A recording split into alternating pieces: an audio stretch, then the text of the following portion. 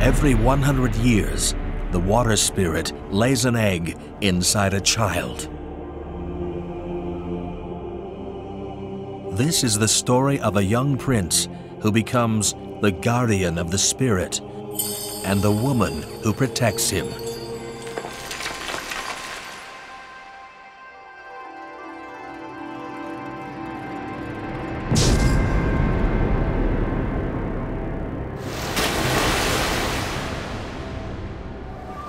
Sonata! 名前は？バルサ。なぜ王子を殺す？魔物が取り付いたからです。この地に大干ばつをもたらす水の魔物です。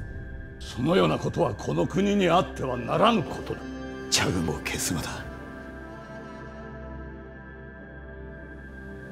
チャグムを清めるのだあなたは名の知れた用心棒だと聞きました。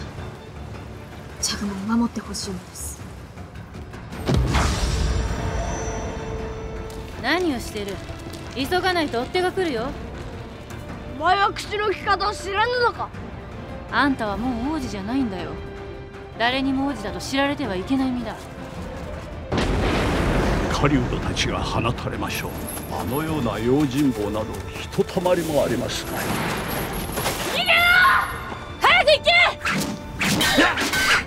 前の腕はどう見ても武人の槍だ。どこで磨いた？高級とは無縁のところさ。その生き物はなぜか卵を人間の子供に産みつけるんだ。すでに二つの卵がこの世に産み落とされた。チャグムにはその精霊の卵が産みつけられたっていうのか？チャグム王子には消えてもらわなければならない。それが帝のおぼし飯だ私が下すのは天罰だ。天罰が下るであろう。何なのだ何のために生まれてきたのだ。化け物の卵を産むためか。お前が生まれてきたのは今ここで生きるためだ。生きてることを恐れるな。それが一番恐ろしい魔物だ。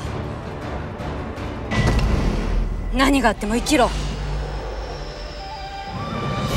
Starting in the spring of 2016, this 22 episode series will be broadcast in Japan over a three year period.